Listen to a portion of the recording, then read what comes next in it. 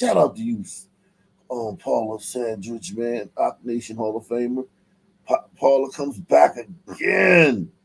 She said, Hey, fisherman, hope all is well. What about those tunnels? Huh? Wow, grabbers are up to something. Grapplers. What the fuck is? Paula a dude or a chick? Paula? I think Paula's That- a chick, man. Every Paula. Paula's a good name, man. Lordy Pauls. I mean, it wasn't it doesn't say never Paul. know nowadays. You never know nowadays. That's true. That's true. That's fair. Yeah, Paula's a chick, man. Um, I mean, grabblers are always up to something. grab. Like right now, as we're doing this show, there's like 10 of them in a room somewhere doing some weird thing with some plan. I never heard of that Yeah. term. What is that? Yeah. It's just another word. I think uh I think Owen Benjamin uses it. Grabbers. It's another word for juice crew. Do they grab? They always grabbing everything. You see how they go with it? Yeah, they're always scheming. Wow. Speaking of scheming, She was not the intended victim. Then to your side's Amy Avery has reaction from family members and the collaboration on this case. 59 year old Lillian Bond was taking out the trash back on Trice Terrace in Norfolk in April of 2016 when investigators say she was shot in cold blood. Family members say although they killed Aunt Reese that day, they didn't destroy their family. it's nothing that the judge could have sentenced them to that we haven't been sentenced to. We're doing a life without our matriarch of our family. Family members say Lillian Bond was a woman who was loved by many and welcomed all. She accepted people for where they were uh, without passing judgment. Bond was taking out the trash in Norfolk on April 19th of 2016 when federal prosecutors say she was shot.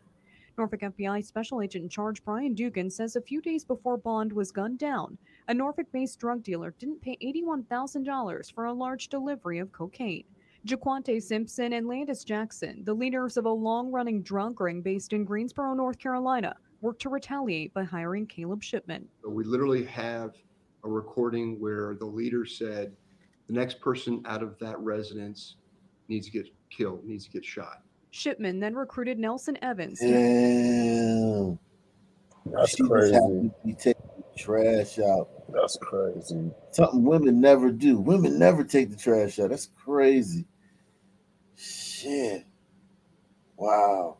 We literally have a recording where the leader said, the next person out of that residence needs to get killed, needs to get shot. Shipman then recruited Nelson Evans to help in the murder for hire, offering to pay him part of the money.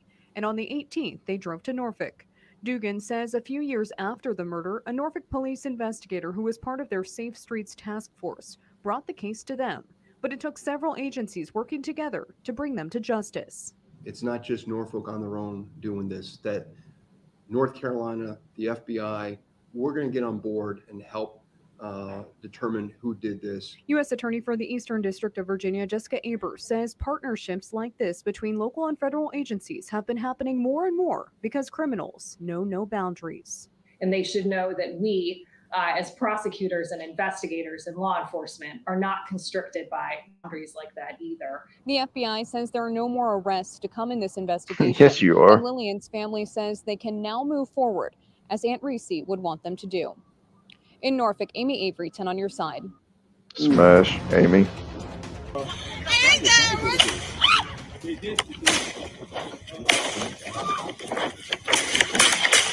Also, topic six tonight new video just in of a wild fight that led to a student being shot near Northwestern High School. The gunfire happening just moments after a high school basketball game. And now the 15 year old victim is in critical condition in the hospital. Let's go right to local 10's Alex Finnie live in Northwest Miami Dade with the latest on this. Alex. and Louie and Nicole, this is absolutely devastating. I can't even imagine what this family is